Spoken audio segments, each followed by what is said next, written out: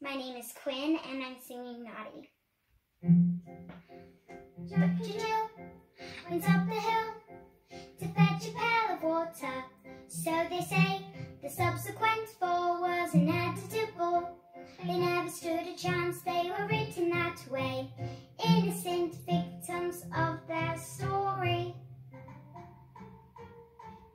Like Romeo and Juliet, just written in the stars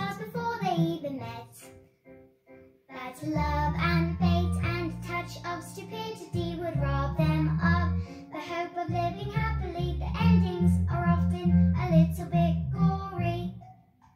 I wonder why they didn't just change their story.